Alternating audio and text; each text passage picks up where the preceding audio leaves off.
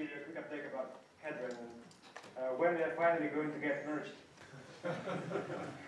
it's been like more than two year project for this one. I, I, I wish we merged already. Uh, so, so what's the, what's Hadrian? Hadrian is a new build system for GHC. So we're replacing huge file of code within make files with also quite a big file of code in, in Haskell.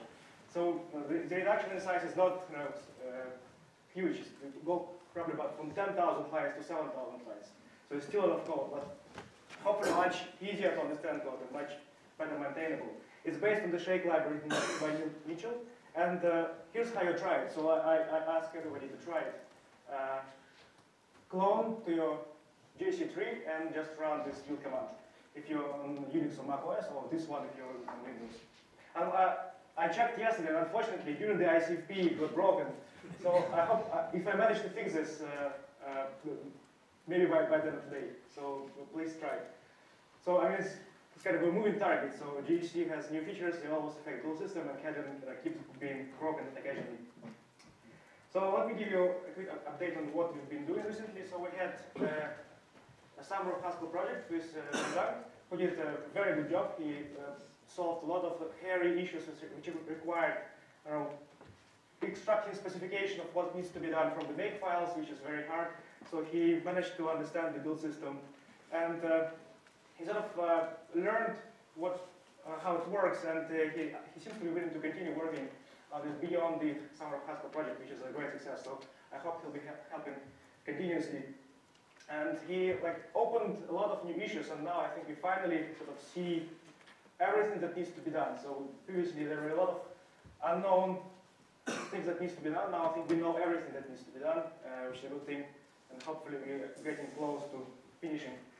He also built this nice uh, infrastructure for testing, um, not just you know, where the GC is can be built, but things like whether it can be installed, uh, whether it can be built in, with dynamic linking, things like this. So uh, it's, it's, a lot of help. We are currently blocked for, for the merge on the upcoming Shake release, which introduces a very important feature for us for skipping paths of the rebuilds. So if uh, you, for example, want to freeze stage one compiler, you don't want to recompile it every time you make a change, you will be able to do it by providing this command line flag. Currently, you can't do that, so that's one of the major roadblocks before merging.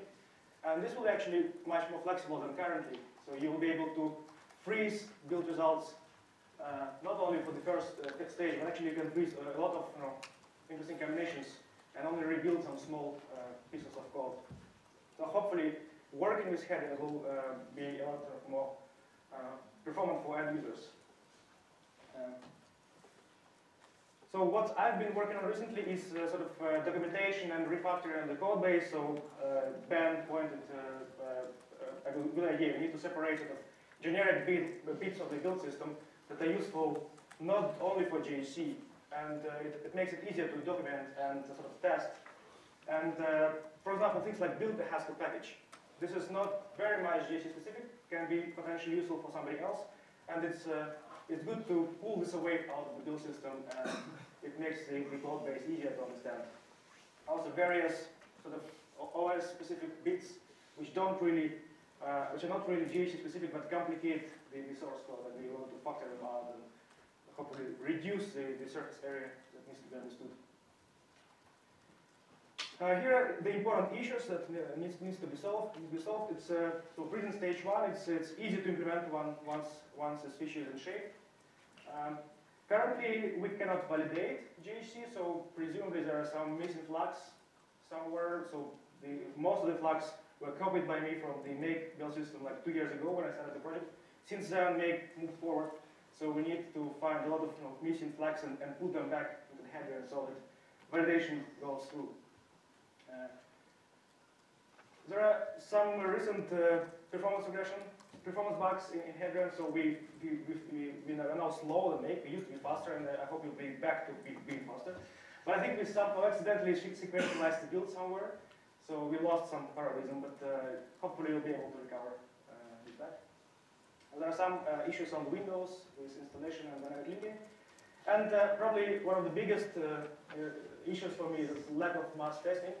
It works on my machine, it works on CI, it works on Zhang's machine, and, but there are many of you, and like unlimited number of possible combinations of operating systems and uh, C compilers and whatnot.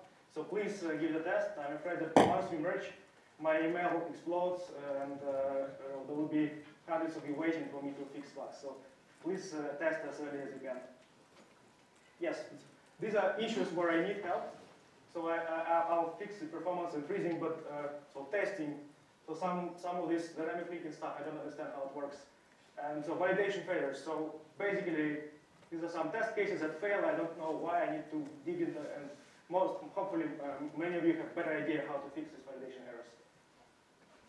And when to merge? So as soon as at least these three uh, issues are resolved, once they're resolved, I think we can merge. And uh, I think we're going to keep make until uh, 8.4.1, but uh, if we merge uh, soon, uh, then I hope then uh, if, if Hadrian works well, then we can drop finally make and we, it will be very hard to maintain two build systems at once. So that's it from me and uh, if you So have questions. Is that a closed or open interval drop as of GHC 8.4.1? Drop Make? Yeah, I mean, we- hopefully, I mean, we don't want to maintain both of them. I, I expect it will be, uh, that we will drop it sometime between eight point four point one Yeah, and eight point six, if that Oh, oh, okay, so 8.6 will be the first one that doesn't come with Make. I- If things go well, yeah, yeah. That's- Yes. Is the idea that Shake is going to be bundled with GHC? No, you don't need to, to bundle because the, you can compile Hadrian and use the compiler you have on the, on the build system. So basically, Shake is just the standard package you can you know, compile build, for example, and use it. It's treated like, uh, Alex and Happy are. Okay, so uh, I- I'm mostly concerned about the bootstrap problem for for GHC. Right now, we do- we mostly need GHC and the the C runtime to to bootstrap it. Uh, Now, we would also need Shake, which is also built with GHC and a bunch of other libraries. No, no, it's more like uh, Alex and Happy, uh, uh, as Ben says. So I we, think we, I think it Alex and. Happy are bundled with GHC. They're not, no, they're not bundled. No. But they are binaries. You're using Shake the executable or Shake the library? Shake's a library. Uh, that's a big difference for bootstrapping. Yeah. Because you can have a, the, the executable is taking a link and you just have it in distribution. And you can, GT can completely broken in your distribution, you can still run it.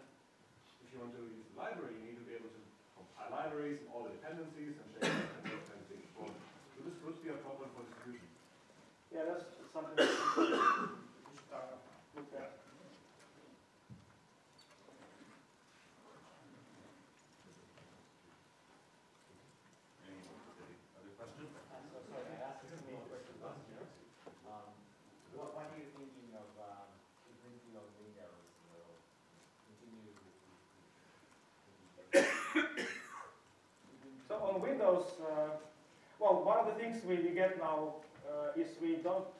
necessarily need to install MSYS2 yourself because you can uh, just build with uh, the, uh, using Stack.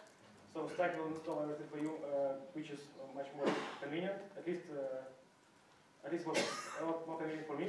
Is it uh, what you were asking? Uh, look, look, So, so you don't have to maintain a separate Windows, you can do everything on like, Linux, on, I think. Ah, I see, I see what you mean, yeah. I haven't yet tried it.